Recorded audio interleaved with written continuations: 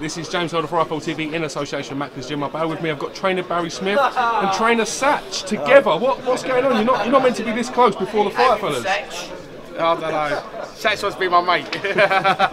We are mates. aren't Ah, we? we are mates. We are mates. What, I know obviously you are friends. I know obviously you are friends, but do you put that obviously put that to one side on, on fight nights? Well, like Satchy said to me, it ain't our fight. You know what I mean? It's not our fight. It's between Tommy and Wayne. They're, they're going to war. You know. And we, and me and Satchy have we prepared them for it. Yeah, we're just we're just there. We're helping them out and that, and uh, we'll be friends. We're all friends all the way along and that, but for how long that fight takes. yeah.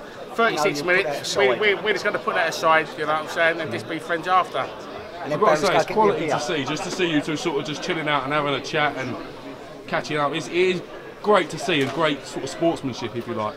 Well, yeah, it is, isn't it? It's all right, you know what I mean? It's a man's sport at the end of the day, you know what I'm saying? You know I'm saying? Like, the, the boxing game's too small to start making enemies, you know what I'm saying? So, yeah, we are good You friends. might need help in the, in the future, ain't you? Like Yeah. things and sparring, so you have to you have to keep together. You can't fall out with people and that.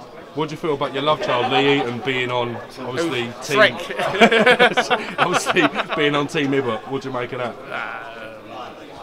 He's got to do what he's got to do when he's leading, and you know what I'm saying? Yeah. He's a nice bloke at the end of the day, but he's team Hibbert, so yeah, we just let him get on with it, you know what I'm saying?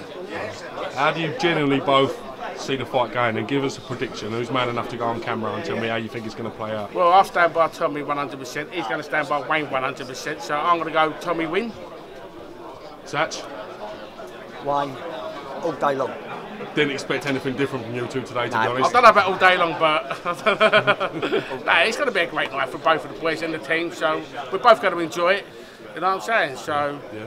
for 36 minutes, we're going to put everything aside, and after we go, we're going to go to the bar. And Sat's, Sat's going to buy the beers. Listen, both top fellas, I really do appreciate you giving me some Thanks, time James. today and we look forward to a great contest Anytime, James. Thank you Thank you. much. Cheers, fellas.